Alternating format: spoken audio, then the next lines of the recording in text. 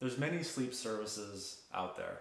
You're going to have sleep labs um, that are private. You'll have hospital-based sleep labs, and you'll have a lot of online home sleep testing units. So what makes us different from one of these sleep testing units? We use a type 2 study. So a lot of these other ones you'll see they're type 3 and type 4. So what's the difference in that? The difference is that a type 2 monitoring device that we use, it measures uh, measures a whole lot of things. it measures breathing, chest and abdominal belts, your pulse, your blood oxygen levels, your heart rate and rhythm, leg movements, your chin movement, uh, your eye movements, electroencephalograph, which is your brain activity, so we know if you're awake or asleep, which is extremely important for a sleep study. Um, and we can uh, we put this all into a comprehensive report, and we have it read by our sleep specialist.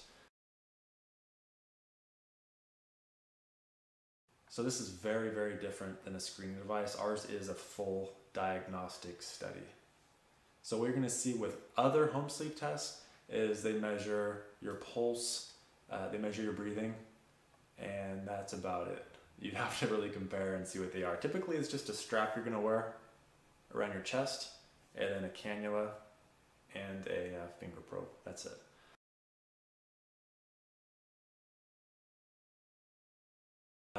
As far as the channels that are recorded, uh, we, we all measure the exact same things. It really is the exact same report that you're going to get in a regular uh, in-lab or hospital-based sleep lab setting. It's actually, as far as the channels that are recorded, everything that we're measuring is going to be the exact same.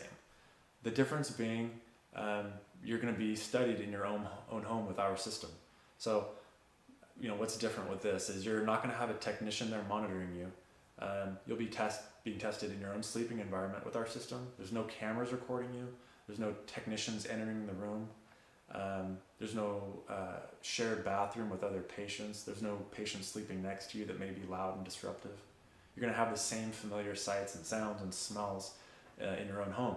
You're going to have your own climate control, which is always a huge deal in a sleep lab. And then in general, there's just no lab noise and there's no travel to a sleep lab. You're gonna be in your own home.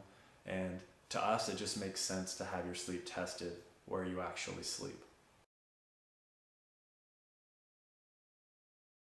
We have very detailed instructions on how to hook yourself up. So really it's a lot of repetition, but if you can put a belt on around your chest and if you can uh, cut tape pretty much and follow directions, you'll be able to do it. Um, it's probably easier with the assistance of someone else, but there's a training video we have that shows how to do it on your own.